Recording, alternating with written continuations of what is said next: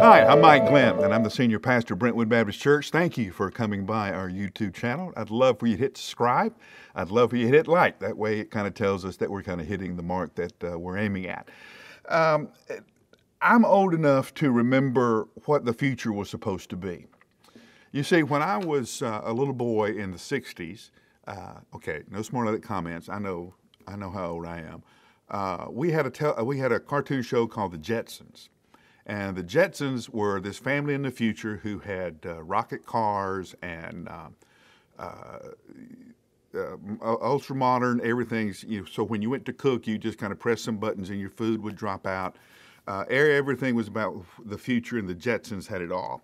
And we were all thinking that we would live like the Jetsons. We would have rocket cars, and um, our, our food would be delivered by some kind of robot and that kind of stuff. And, and wow, we missed that future altogether. And I know we got robots and, and, and that kind of stuff, but we thought life would be better, didn't we? One of the interesting things that has happened uh, with the uh, rise of, of, digital world and social media and all of that has been uh, an increase in depression and an increase in anxiety. Now, there's a lot of reasons for this. Uh, and people who study, who stay up late at night, and study these things, have written a lot of books on it. But, but, but for a lot of us, we're just not as happy as as we thought we would be, or thought we should be, or think we should be, and, and we don't know why. Now, first, let me stop here with with a big red flag. Uh, there is a difference between anxiety and an anxiety disorder. Okay, there is a qualitative difference. And one of the things that we have noticed and discovered about depression and, and uh, anxiety disorder and other things like this is they have a brain chemistry component. And if you have a brain chemistry component, then willpower, prayer, all that is not going to help the brain chemistry issue. You're going to have to treat, uh, be treated with medicine. And so that means going to a doctor, getting the proper diagnosis, and trying the medicines until you find the one that, fit, uh, that, that works for your situation. If you've been diagnosed with one of these issues, and if you've been prescribed medicine, take your medicine, okay?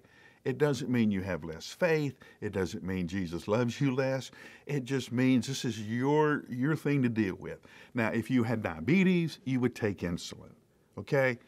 Same thing. If this is what you're dealing with, then take your medicine and do not worry about it or be guilty about it one one little bit. It is a brain chemistry issue and it is totally out of your control. But what most of us deal with are situational depression. Uh, that is, something happens in life and we feel blue about it, or we can't quite get to where we want to be and we keep trying and we end up with this constant churning uh, in, in our inner life, and we can't rest, which leads to his own problems. We can't eat, which leads to his own problems, all because we are not at peace with ourselves. Now, over and over again, the antidote for anxiety is prayer. Now, you're going, oh, great. Uh, I'm supposed to say, now I lay me down to sleep and, and that makes me less anxious. No, you're missing the thing of prayer. Prayer isn't about what you say, it's about who you're with. Now, you have people in your life, I have people in my life. When they walk in the room, you feel better. When they walk in the room, you're more confident. When they walk into the room, you figure, okay, we're going to be okay. Do you know I always knew my father's footsteps? Did you know that, that if, if a hundred guys walked down the hall, I could, I could hear my dad's footsteps. I could pick him out. I could tell you if it was him or not. You know where that came from?